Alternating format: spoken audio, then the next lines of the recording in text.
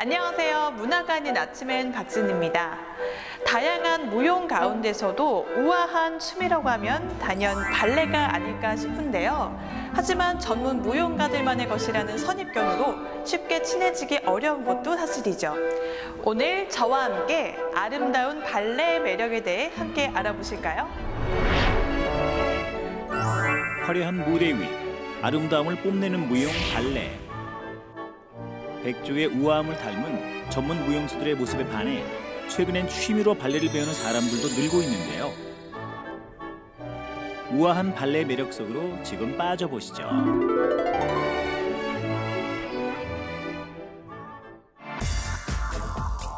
찬바람 부는 겨울, 발레에 대해 알아보기 위해 청주시 사창동에 있는 발레 전문 아카데미를 찾았습니다.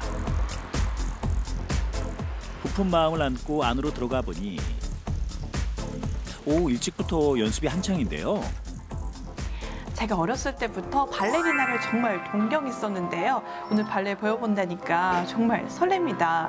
그런데 오전부터 연습하는 분들이 정말 많으신데요. 오전 10시 발레로 하루를 시작하는 사람들. 잔잔한 클래식 음악에 맞춰 우아한 몸짓을 보여줍니다.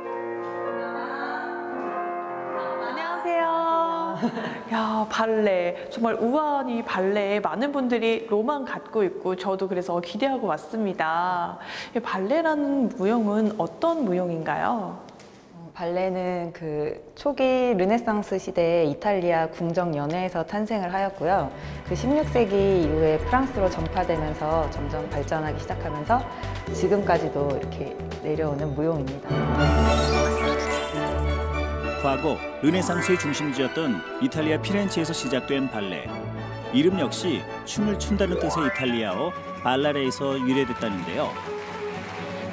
웅장한 무대, 화려한 몸짓으로 지금까지도 많은 사람들에게 사랑받고 있죠.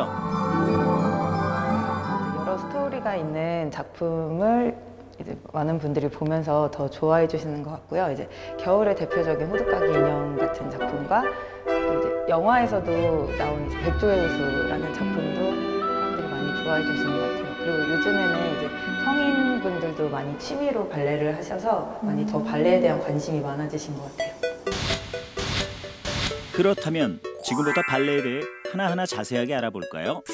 발레에 대한 오해와 진실, 발레에 대한 궁금증을 모아서 선생님께 물어보면서 해결해 보려고 합니다.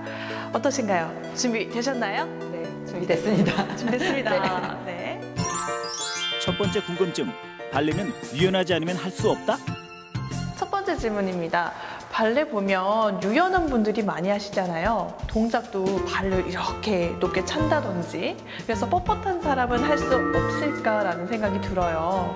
걱정을 하고 오신 분이 있어요. 뻣뻣하고 유연성이 아예 없는데 할 수 있냐 이렇게 하는데 점점 저 6개월 이상 꾸준히 정말 꾸준히 하시다 보면은 어느 순간 유연성은 길러져 있어요. 어, 저처럼 뻣뻣한 사람도 할 수 있군요. 충분히 하실 수 있어요. 다행이네요. 두 번째 궁금증. 발레는 나시란 사람만 할 수 있다?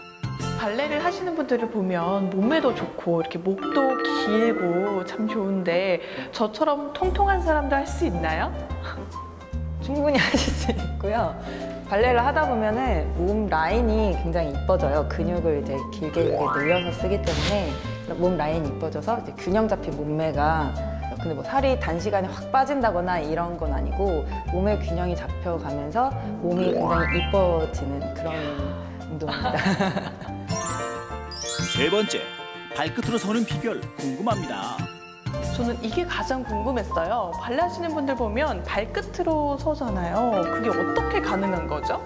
그 발끝으로 서는 거는 그 pointe shoes라는 토슈즈를 신고 발끝으로 설 수 있는 건데요. 그 shoes는 바로 신을 수는 없고요.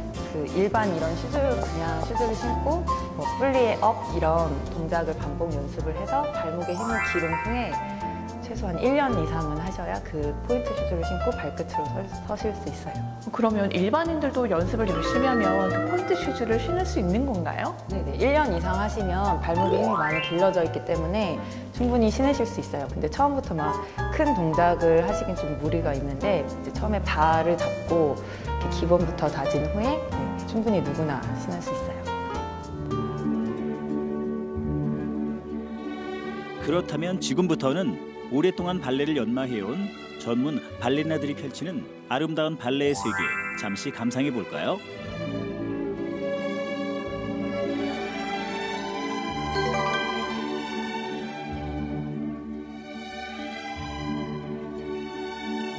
손짓 하나에도 우아함이 묻어나죠. 이 작품은 여러 발레 종류 중에서도 낭만 발레에 해당된다고 하는군요.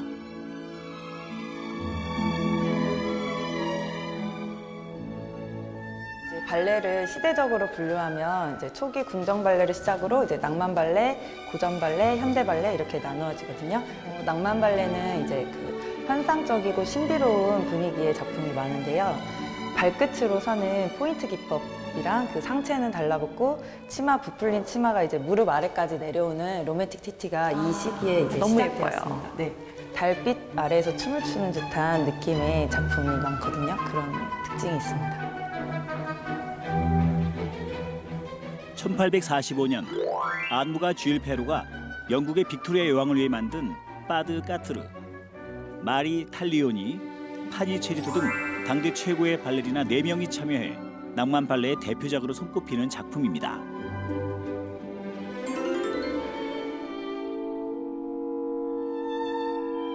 발레 하면 떠오르는 화려한 의상과 몸짓. 다음으로 소개해드릴 발레가 바로 백주의 호수, 호두까기 인형으로 대표되는 고전 발레입니다.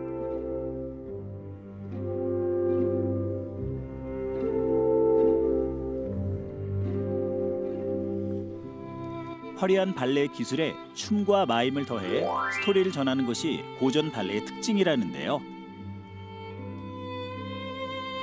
지금 보시는 작품은 중세시대 프랑스를 배경으로 한 작품 레이몬다입니다. 정말 우아하면서도 아름답죠?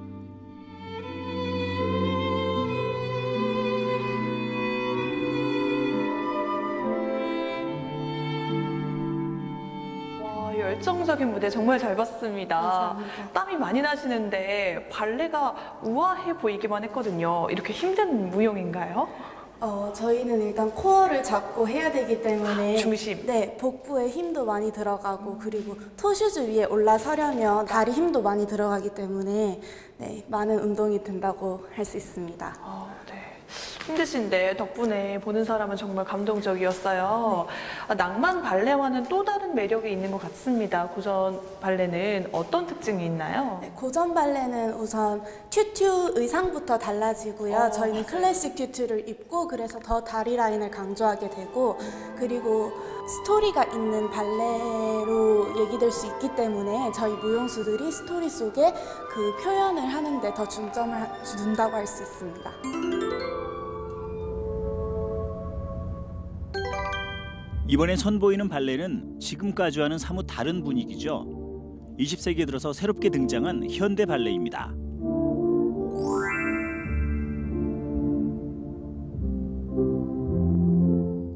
전형적인 발레 틀에서 벗어난 파격적인 의상, 자유로운 몸짓이 돋보이는데요.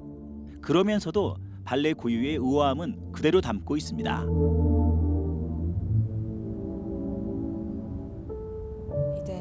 낭만 발레랑 고전 발레와 다르게 조금 몸에 자유로움이 좀 있어서 훨씬 이젠 표현하기도 더 좋고 네 자유로움을 이제 풀려고 하는 게 조금 어려운 점도 있어요. 네. 어, 오히려 네.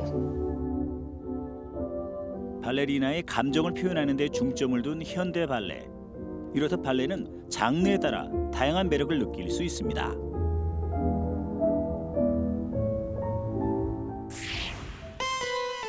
그렇다면 이제부터 발레 한번 배워봐야겠죠.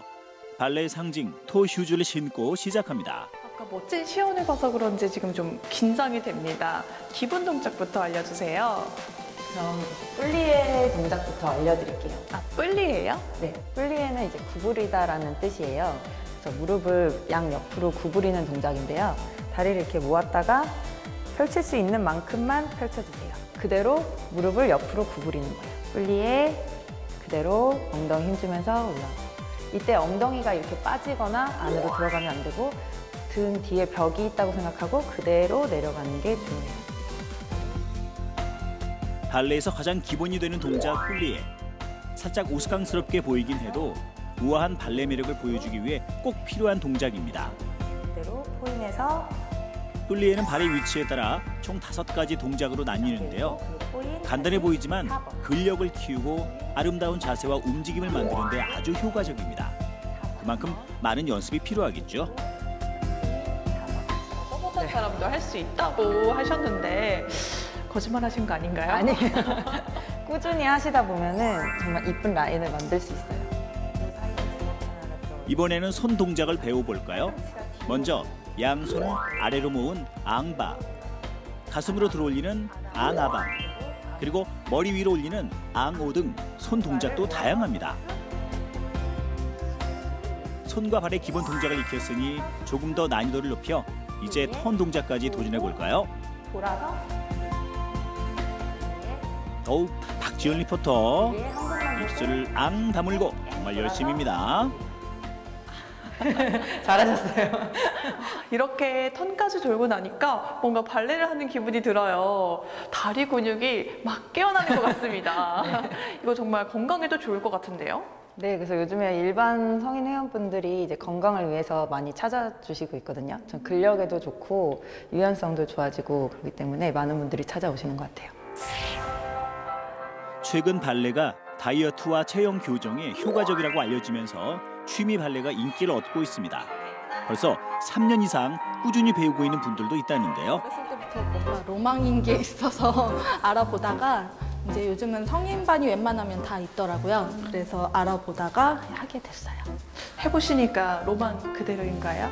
로망 그대로이진 않고요. 처음에는 의상을 입었는데 어, 내 몸에 대해서 좀 놀라기도 하고 반성도 되고. 네, 반성도 되고 그래서 지금 1년 정도 되니까 어느 정도 좀 잡혀가는 부분이 있는 것 같아서 만족하고 있어요. 보기에 되게 아름답고 우아하잖아요. 맞아요. 그 동작을 발레리나들처럼 똑같이 할 수는 없지만 계속 그 동작을 위해서 연습하는 과정이 너무 재밌어요. 그냥 볼 때는 이렇게 가볍게 움직이는 것 같은데 정말 몸에 힘이 많이 들어가고 완급 조절을 해야 하기 때문에 정말로 많이 네, 운동이 되고 있어요. 발레와 사랑에 빠진 건 성인분들뿐만이 아닙니다. 여기 꼬마 친구들도 발레 매력에 푹 빠졌다고 하는데요. 발레리나까지 꿈은 가진 않았지만 그래도 아이들이랑 어울려서 같이 뭐 뭔가 한다는 거 그런 거에 되게 즐거워하고 있고 이쁜 동작, 이쁜 옷 입고 하는 거 참 좋아하는 것 같아요. 보는 것만으로도 감동을 주는 아름답고 사랑스러운 춤 발레. 막연히 어렵게만 느껴졌던 발레지만 어느새 우리 곁에 친근하게 자리하고 있습니다. 올겨울 우아한 발레 매력에 취해 보시면 어떨까요? thank you